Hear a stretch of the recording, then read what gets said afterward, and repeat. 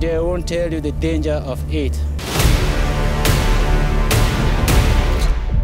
The sun is so hot. There were some vehicles, 32 passengers, only two people survived.